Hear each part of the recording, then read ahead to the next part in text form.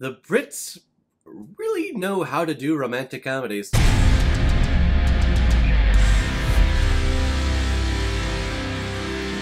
Four Weddings and a Funeral, released in 1994 and directed by Mike Newell, who's also directed such films like Enchanted April, Into the West, Donnie Brasco, and Harry Potter and the Goblet of Fire, one of my favorite Harry Potter films. And this film has a huge ensemble cast of Hugh Grant, Andie MacDowell, Kristen Scott Thomas, Simon Callow, James Fleet, John Hannah, Charlotte Coleman, David Bower, Corin Redgrave, and Rowan Atkinson. And here we are again, this is another PayPal donation from from Mr. and Mrs. Rusted Beetle.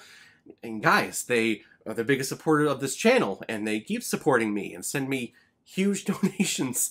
I mean, how can I not pay them back by doing their recommendations? And this was one of them. If any of you want to kind of dethrone them as the reigning PayPal donation champions, you can make a PayPal donation on the main page of my YouTube channel by selecting the donate button, and you can attach your movie to your donation. Any size donation will do. If I have access to it, I will watch it, review it, and publish my review as quickly as I possibly can. But the Rusted Beetles, they're on a roll.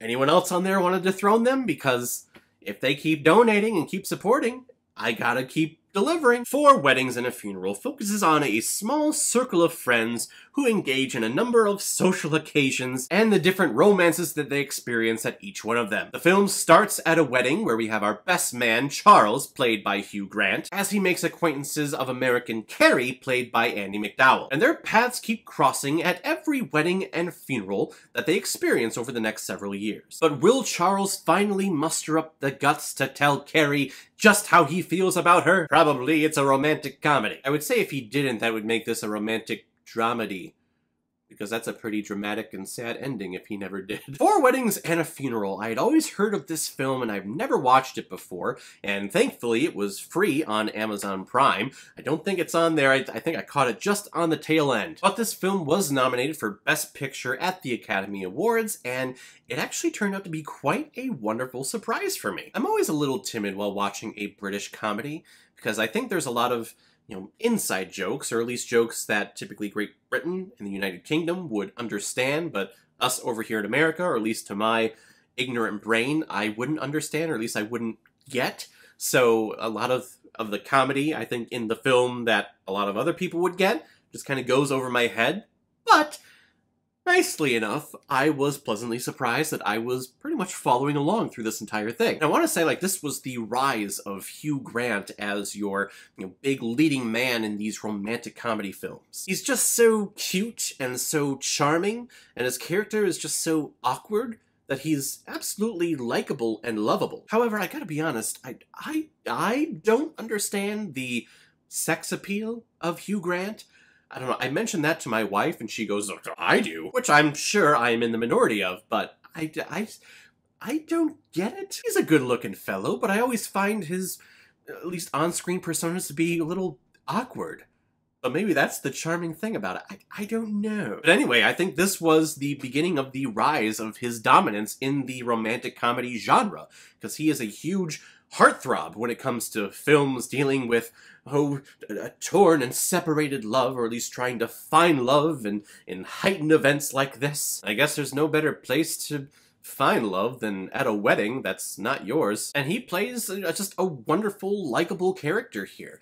Yes, he's a little bit of a playboy and a little bit of a slut going around and sleeping with a bunch of women, but this film does a great job of showing just how innocent of a person he is and how much of a heartthrob he is, I guess. Andie MacDowell, who I typically like to see in films, I really loved her in Groundhog's Day, that's probably where I know her most from, she was a little cardboardish to me. Like, I have lines and dialogue, and I am delivering them.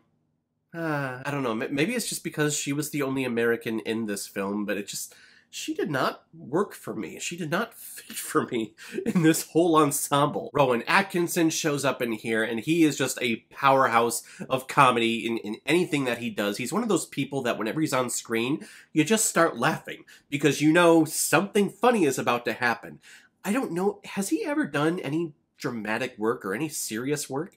If he has, I feel bad for him because I think he's one of those actors like Jim Carrey or Robin Williams that fits into that mold of hey, whenever their face appears on screen, you start laughing because you're expecting comedy. And we get that. He plays a a priest in training and when he's delivering it's a second wedding and when he's delivering the vows and the speeches he keeps mixing up names and mispronunciating names which I've I've done. I understand the pressure of being the master of ceremonies of a, of a wedding. I am a certified officiant, and I've officiated two weddings. I'm batting one for two, so that's that's that's batting 500. That's, that's good, right? But I attach myself so much to his character because he's up there freaking out. He's so nervous, and I completely understand. Of course, he goes way over the top, and he's saying, her his name is hers and her name is his and uh, things are not being communicated correctly in the script. I love Rowan Atkinson. He's hilarious. But the big surprise to me, or at least the big standout for me, was Simon Callow, who plays just, uh, just this big personality. And whenever he goes to a wedding, he is all in. He's, everyone drink, be merry, let's have a good time. My god, I could listen to him do audiobooks from now until the end of time because that man's delivery, his diction, his pronunciations, is just, oh, it's just, it's music. He also has a kick-ass beard in this film, and I'm, I'm a stickler for facial hair, and that man,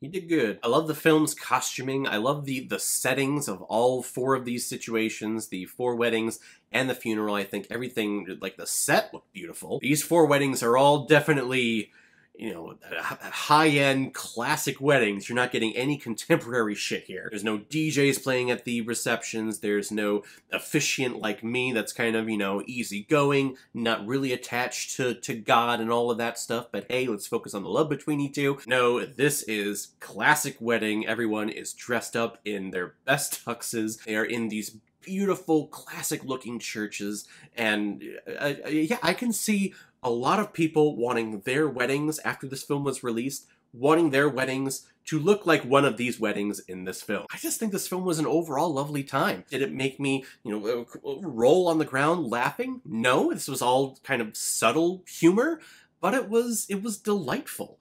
That's that's the best word I can use to describe this film. It's just delightful, and it ended up tugging at my heartstrings when we get to the funeral aspect of the title.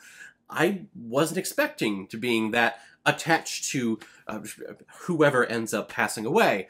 I didn't find myself attaching to them, but it happened, and I was I was feeling the emotions. So this film made me care about these characters when I didn't realize it was happening. As it was going along, I'm realizing like, oh, I'm I'm actually connecting with these characters a lot even though it's a little intimidating with it being a British comedy, trying to make myself follow along with accents and the culture and the situations. But I ended up really loving this movie. The climax is cheesy as hell. I'll be honest, it almost ruined the whole thing for me. I don't know if if I felt like it was just stereotypical, even though this film came out in 1994. Maybe this was one of the first ones that started this whole thing. But the whole confession of love in the rain, the, the the monotone delivery. I'm wet, but I love you. It just it didn't do it for me. This film overall was a success, and I was loving it. That last little bit, though, oh, just give it a rewrite, please. Or can we shoot it again and try emoting, please. It's a great time, though. I think this is everyone who's into ro romance and comedies should definitely check this one out at least once. I'm gonna give Four Weddings and a Funeral four out of five Blu-rays. I like it a lot. So everyone, since this was a PayPal donation, it was shoehorned in here, so we will be continuing on our regular schedule as normal. If any of you have recommendations of films that you want me to review on here, I will be getting back to doing just random recommendations at a whim here in the next couple of months. So if any of you have recommendations, leave your comment below this video, or go to my Facebook page, my Instagram, or my Twitter, leave your recommendation there. If I have access to it, I will watch, review it, and give you a shout on the channel. Again, if you want to help support me, you can make a PayPal donation on the main page of my YouTube channel channel If you want to recommend a movie, that would be great. If you just want to help support the channel too, you can make a PayPal donation. I, I can't tell you how much I, I appreciate and just love you guys so much that do that. So guys, if you've seen Four Weddings and a Funeral, what did you think about it? Or if you've never seen it before and you stumbled across it because of this video, then comment below, let me know what you thought about it. And as always, if you like what you see here, if you like my take on movies, then hit the subscribe button and make sure you hit that bell so you know the next time I release the next movie review. So guys, I will see you next time on the channel, but in the meantime, be well, be good to each other, and go watch a movie. Take care, guys.